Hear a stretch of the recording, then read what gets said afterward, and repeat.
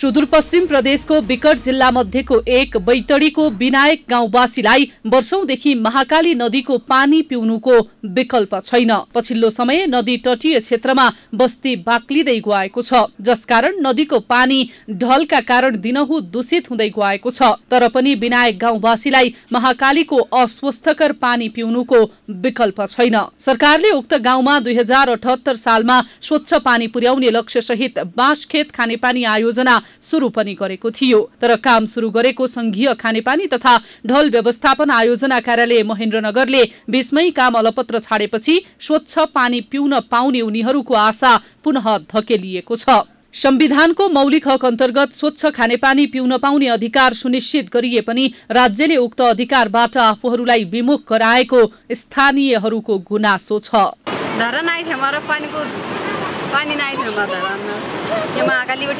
पानी खाने पानी नहाउने पानी सबै पानी धरा तीन वर्ष पहिले बाँसखेत खानेपानी उपभोक्ता समिति मार्फत सुरु भएको आयोजनाका लागि संघीय खानेपानी तथा ढल व्यवस्थापन आयोजना कार्यालय महेन्द्रनगरले गत वर्षबाट बजेट पठाउन छाडेको छ।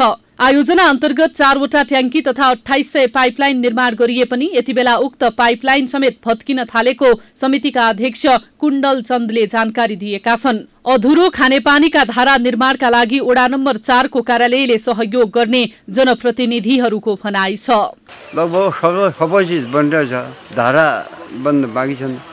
पच्चिस धारा लगभग पच्चिस धारा जति बनाउन हामी केही वडाबाट सहयोग गर्छौँ। जसका लागि कार्यालयले चार घर बराबर पच्चिसवटा धारा जडानका लागि सामान उपलब्ध गराएको छ।